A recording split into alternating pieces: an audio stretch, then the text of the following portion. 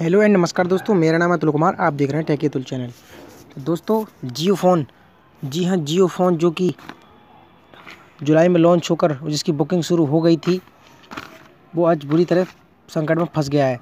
तो दोस्तों, एक ऑनलाइन रिपोर्ट के मुताबिक अगस्त में इस फ़ोन के प्री ऑर्डर शुरू हुए और अब एक ये ग्राहकों के हाथों में भी पहुँच चुका है, लेकिन अब ये फ़ोन एक नई कंट्रोवर्सी में फंसता नज़र आ रहा है। एक ऑनलाइन रिपोर्ट के मुताबिक रिलायंस जियो फ़ोन में आग लग गई है। फ़ोन रडार पर छपी एक रिपोर्ट के मुताबिक इस फ़ोन का बैक पैनल यानी पिछला हिस्सा, आग लगने के बाद पूरी तरह पिघल गया है। तो दोस्तों रिपोर्ट में ये भी बताया गया है कि फ़ोन के साथ साथ उसके चार्जर में भी चार्जिंग करते समय धमाका हुआ है। इस, उस वेबसाइट पर जो तस्वीरें शेयर की गई हैं, उन तस्वीरों में बैक पैनल पूरी तरह से क्षतिग्रस्त, यानी उसकी स्थिति बेहद ख़राब दिखाई दे रही है। हालाँकि फ़ोन का जो डिस्प्ले है, सामने से ठीक ठाक दिखाई दे रहा है। जियो फ़ोन से फटने की खबर के बाद जब कंपनी से इस बारे में पूछताछ हुई है तो रिलायंस रिटेल के प्रवक्ता ने कहा कि जियो फ़ोन ग्लोबल स्टैंडर्ड्स के हिसाब से बनाए गए हैं और हर फ़ोन काफ़ी कठिन क्वालिटी कंट्रोल प्रक्रिया से होकर गुजरता है।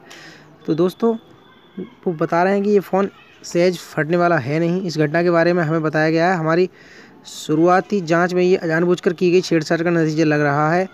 तो दोस्तों, वो बता रहे हैं कि ये किसी छेड़छाड़ का नतीजा है।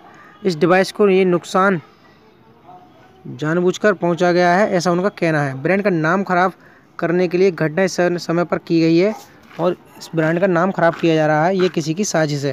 तो दोस्तों, उनका ये कहना है कि हम उसके खिलाफ़ जाँच पूरी करेंगे और उचित कदम उठाएँगे।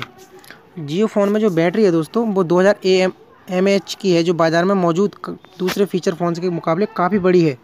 पिछले साल जो रिलायंस फ़ोन रिलायंस लाइफ के भी एक स्मार्टफ़ोन ने आग पकड़ ली थी। तनवीर सादिक नाम के शायद एक यूज़र ने जले हुए फ़ोन की तस्वीरें ट्विटर पर पोस्ट की थी और लिखा था मेरा परिवार आज बाल बाल बच, बचा जब जियो का फ़ोन फट चुका था। दोस्तों इस तरह की एक एक खबर एक वेबसाइट ने साझा की है। उस वेबसाइट को मैं आपको दिखा देता हूँ। देखिए ऊपर दिखाई आपको दे रहा है Nav Bharat India Times dot com. इस पर लिखा हुआ, फट गया जियो फ़ोन, लापरवाही साजिश। तो दोस्तों, इस वेबसाइट पर यह खबर साझा की गई है। तो दोस्तों आने वाली हर खबर के साथ बने रहिए। मैं आपको इसकी पूरी जानकारी बताता रहूँगा। तो दोस्तों प्लीज़ वीडियो अच्छा लगा हो तो लाइक कर दें। और वीडियो को शेयर करना बिल्कुल ना भूलें, क्योंकि ये सभी के हित की बात है। तो दोस्तों, चैनल को सब्सक्राइब करते भी जाना।